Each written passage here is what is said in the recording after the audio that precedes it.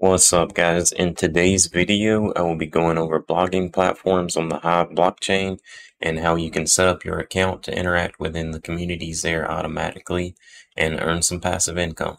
I know most of you follow me for Splinterlands content, so if you already have a Splinterlands account, you also have a Hive blockchain account, which means you can just log into these sites I'm about to mention with your username and posting key. If you don't play Splinterlands, you will have to sign up to one of the blogging platforms.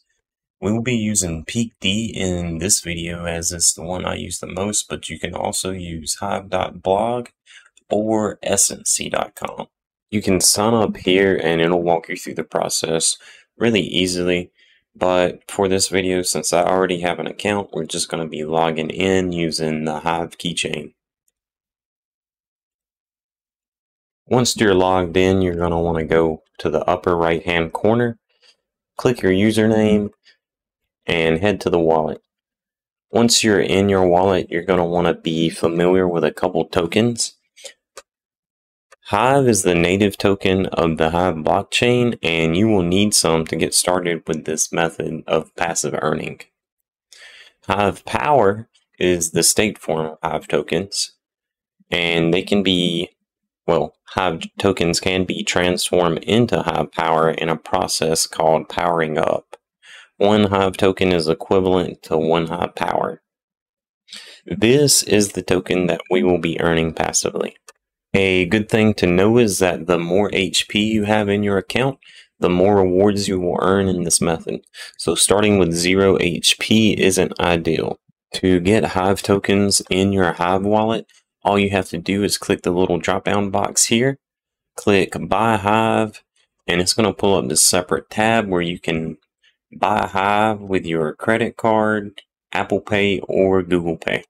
After you have your Hive in your account, I'm going to be using my 0.002 Hive as an example. Uh, you'll just want to click the drop down box again and click power up.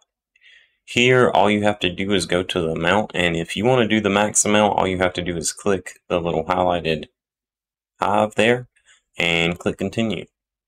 And the Hive keychain is going to want you to verify everything.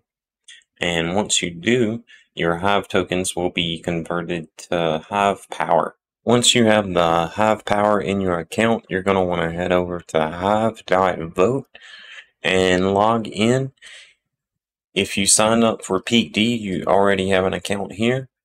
All you have to do is type in your username and posting key, but since I already have an account, I'm just going to log in.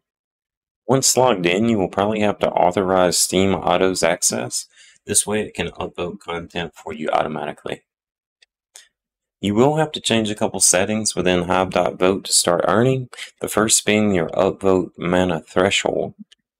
But first, let's go over this article that kind of explains what voting mana is. That way we can better understand what it is we're changing. So voting mana is like an energy bar in a computer game that goes down a little bit every time you vote. You start out with 100% voting mana. Every time you vote, you will use a small amount of your voting mana. As you use more of your voting mana, your vo votes will carry less influence a vote with 50% voting mana left will be worth half as much as a vote cast with 100% voting mana. Not to worry, the network recharges your voting mana by 20% every day. So you will have to play around with your upvote mana threshold to see what works for you and gives you the best earnings, but 50 through 60% is a good place to get started. Make sure to turn self-vote to false so you aren't upvoting your own content. You also don't have to worry about the downvote mana threshold as we will not be setting up any automatic downvotes. Next, we have to set up the automatic upvotes within curation trails.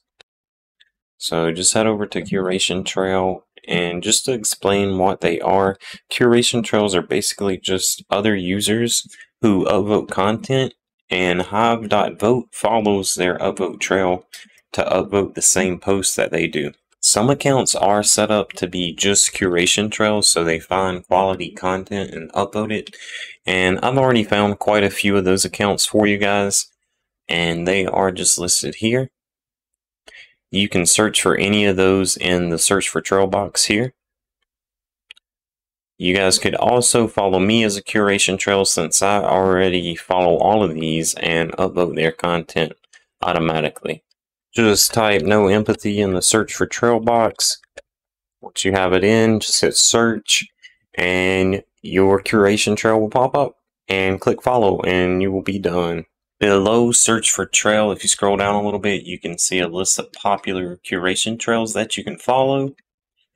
And once you're done setting up all your curation trails, it will take a few days for your rewards to start coming in, but you can check that by going back to Peak D, head to your wallet, and if you scroll down, you'll be able to see the rewards that are coming in in the form of HP.